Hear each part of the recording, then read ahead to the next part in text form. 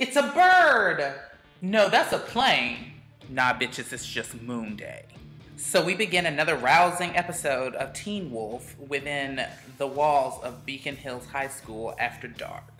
Anybody who's ever seen this show before knows that bad things happen in the high school after dark.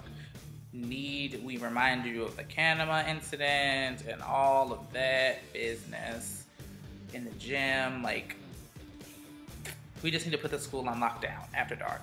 Anyways, Officer Tara, who was this fabulous black queen, had to go and try to be Rambo and just died.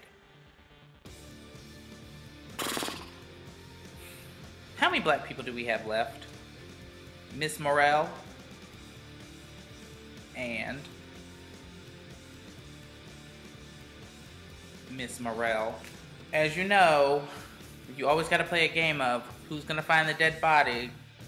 Lydia didn't want to find it. Stiles didn't want to find it. So they went back and forth. I don't want to find it. You find it. I'm tired of dead bodies. You get it. You get it. No, I don't want it. You want it. Get it. No, fine, fine, fine, whatever. Scott's like, I found it.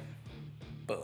I would be eternally surprised if Stiles doesn't have some type of meltdown soon because so many people close to him keep dying. First, it was his mom from forever and a day ago. Then it was the thirsty white girl. And then it was Officer Tara, who apparently was like kind of like a mother figure to him. Like she helped him with homework and stuff. So, I can only imagine how he's going to react now that his father has gone missing at the hands of the Darach. I see that there's some dissension amongst the Alpha twins. But we kind of saw that coming though, because Ethan has been consistently the nice one, the one that's kind of willing to compromise, help out, give information. And then Aiden's just a dick, so it was bound to happen sooner or later. I do not appreciate though Aiden trying to threaten Danny because Ethan likes him. Like, who does that? You like him, but it's not me, so I'm gonna scratch his face off and eat it. Not on my watch, boo. I will get some wolfsbane and some mistletoe. Whatever that little concoction Stiles came up with to take down Ethan, I will use it on you. Don't come at Danny like that. I don't know which one I like better. DNA Digivolving or Voltron Wolf. I'm kind of leaning towards Voltron Wolf because that was real clever, and more people probably know about Voltron than DNA Digivolving.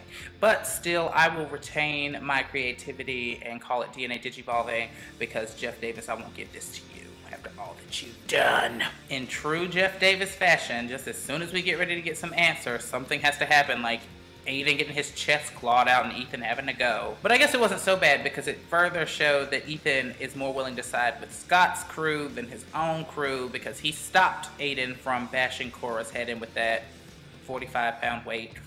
Not that I would be completely opposed to it because Cora still sucks. Okay, when it showed Guardians, was I the only one that immediately thought of parents? Because I know in the future they get Melissa and they already got the sheriff. So what if they snatch Chris Argent and just really round out the, the three guardians because they are always protecting their children? Well, Melissa not so much. She kind of leaves Scott to his own devices. But you know what I mean. I think that the parents will be the guardians, but that's not confirmed. It should be though. Okay. We all know what happened with Miss Blake at the end of the episode. But let's settle on her in the middle before we figure out that she's slick as shit. That scene with her and Derek was extra to the 10th power. Like her and him in the dark in that tunnel, like, oh my god, let me run at you. This is the notebook. Catch me, love me, touch me, feel me. Stop. Like their relationship doesn't seem organic to me. It's so forced because she's like, "Oh my god, I haven't seen you since you were bleeding out last time, and I used your blood as lube." Like, stop, please. But I guess since she's evil, that's gonna stop anyways.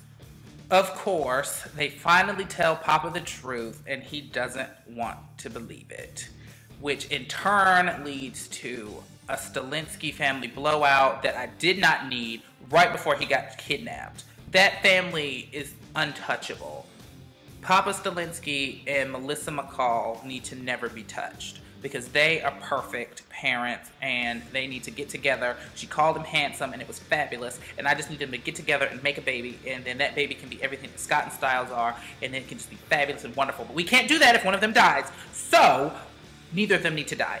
It is law. I never understand why when spooky shit happens, people just don't leave the room. Like the teacher who had wrote all that stuff in chalk on the board turned around and then it was something different.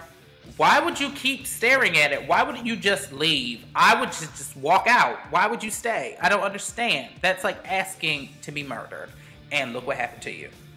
Look what happened. Did you hear? Lydia's a banshee. Somebody told me that a few weeks ago. And so I wasn't super shocked when they told me, but it was nice to finally have that confirmation because that whole is she magic, is she not magic, is she crazy, is she not crazy thing was getting old. So we now have confirmation that Lydia is a wailing woman, a banshee, if you will. But why would you try to confront that bitch by yourself, though, Lydia? That was not the smartest move you could have made. You were in the room with Scott, with Isaac, with the sheriff, I think. Allison was there. Her dad was there. All these people were there that could have actually done something, but no, you just want to just bop out there by yourself and get got. Just girl, just stop being dumb. You're too smart to be that dumb. I knew it was you, Miss Blake. I knew it was you. Let me tell you how I knew. I inherently do not trust white girls, and I knew it was gonna be a matter of time before you fucked up. And I knew it. I knew it. I saw you coming. If they do something to the sheriff, I will kill everyone. I will. Everyone will die. Because the sheriff is perfect and untouchable. Do not kill him, or I will be upset. Final thought. Miss Morrell is the slickest bitch, and I love it. I just love it. I exist for it. Finally, I get an up-close shot of Isaac. It feels like it's been weeks since I saw his beauty up close. And he got a sassy-ass mouth, too. Lydia used supersonic, and it was super effective. Miss Blake used force palm, and it was super effective. Stars, you better save your daddy! Twin telepathy.